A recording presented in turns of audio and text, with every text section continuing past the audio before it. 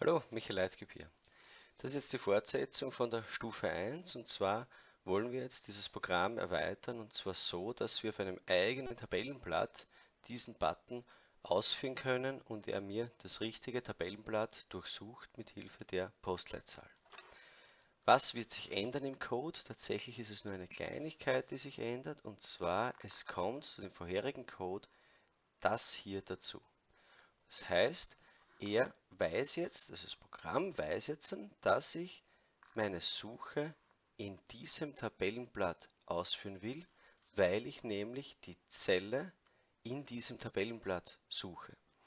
Ohne diesen Sheets Spielplatzdaten, weil ja mein Tabellenblatt so heißt, ohne diesen Befehl zusätzlich könnte ich ähm, nicht sagen, wenn ich jetzt hier einen Button mache auf einem anderen Tabellenblatt, dass er mir hier suchen soll.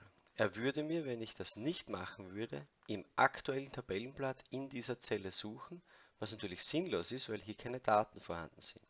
Das heißt, dieser Zusatz sagt, suche nicht einfach in der Zelle I2, sondern suche in diesem Tabellenblatt hier nach dieser Zelle. Ich werde das jetzt dann gleich durchführen. Und zwar habe ich hier kurz auf die Seite geben, hier diese Spielplatzdaten, meine ursprüngliche Daten. Hier kann ich diesen Button wegnehmen und wechsle jetzt auf das Tabellenblatt Suche. Und wenn ich hier für den User sehr freundlich das schon so groß gestalte, dann werde ich natürlich den Button äh, hier anfügen und zwar direkt darunter am besten. Ich verweise wieder auf dasselbe Sub und ich werde wieder einen sinnvollen Namen vergeben, also wieder PLZ Suche. Und wenn jetzt der User hier dieses Tabellenblatt öffnet, sieht er, aha, okay, hier kann ich nach PLZ suchen. Ich drücke drauf, suche zum Beispiel 2020.